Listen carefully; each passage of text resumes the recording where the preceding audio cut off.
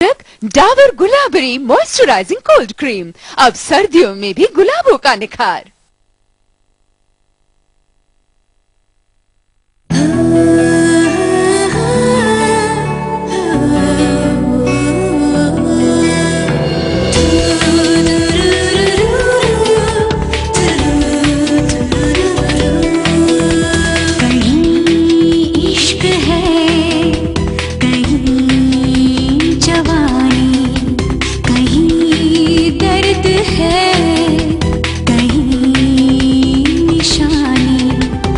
जानी, कुछ पहचानी, सुनो औरत की जबानी। हाथी तेरी कहानी। हाथी तेरी कहानी।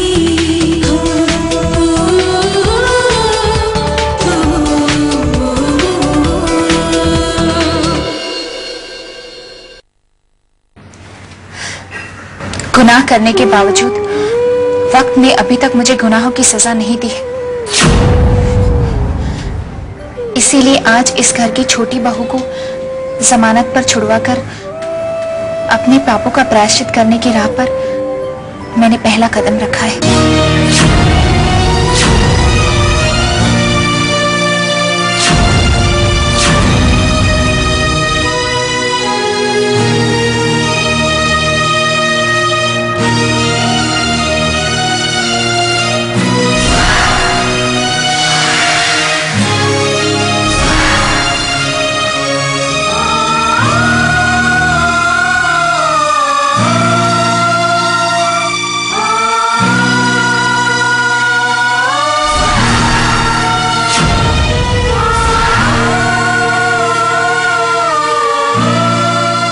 अजय तेरी जमानत करने के लिए पुलिस स्टेशन गया था। वो कहा? देवयानी अब ये कौन सा नया नाटक है? मैं जानती हूँ बुआ जी। मुझसे किसी को कोई भी अच्छाई की उम्मीद नहीं है। पता नहीं ये मेरी बदनसीबी है या खुशनसीबी। कि मुझे वक्त ने अभी तक इस परिवार से अलग नहीं होने दिया है। और इस परिवार के मान सम्मान से मेरा भी कोई वास्ता है, मम्मी जी।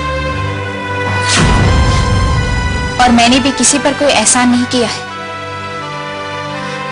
मैंने तो वही किया है, जो मैंने पहले इस परिवार के लिए नहीं किया।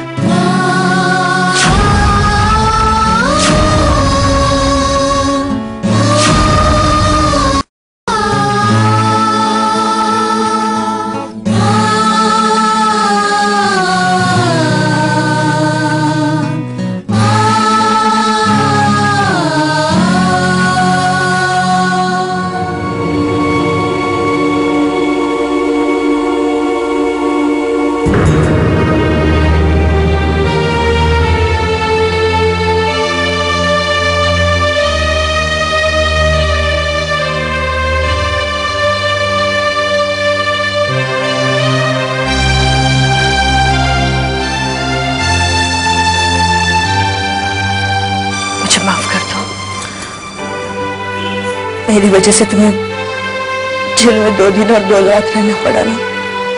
मुझे माफ़ कर दो।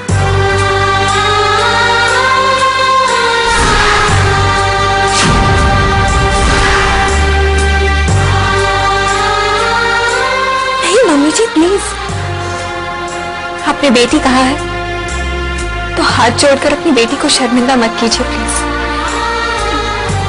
मम्मी जी, जो कुछ हुआ, उसमें आपका कोई दोष नहीं था। मुझे तो खुशी है कि मेरे परिवार का विश्वास मेरे साथ है।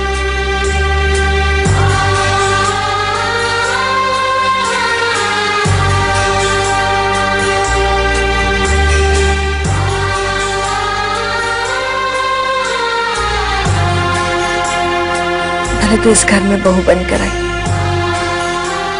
पर मेरा दिल जानता है, मैंने मैंने तुम्हें हमेशा अपनी बेटी की तरह माना है। बिल्कुल। तारा की तरह तुम्हें तुम्हें प्यार किया है। हाँ मम्मी जी मैं जानती और आपको ये कहने की ज़रूरत नहीं है। मेरी समझ में ये नहीं आ रहा। ये अजय कहा रह गया? बुआ जी आप परेशान मत हो मुझे ये बताइए कि तारा कहाँ है? तारा अपने कमरे में रह रहा था। मैं उससे मिलकर आती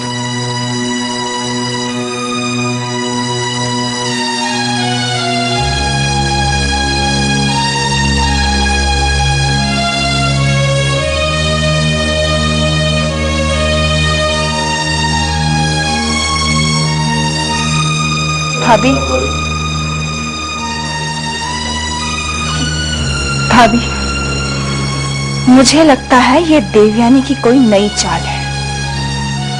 मुझे उस पर बिल्कुल भरोसा नहीं है।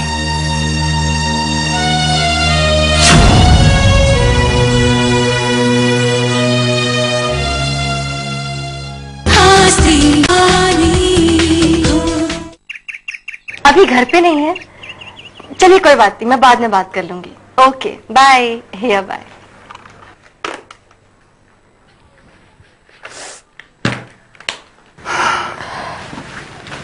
ऋतु से बात कर रही थी। नहीं? तो फिर अपने वो दोस्त क्या नाम है उसका? राधा। राधा से बात कर रही हो है ना? नहीं तो? नहीं? तो क्या विशाल से बातें कर रही थी?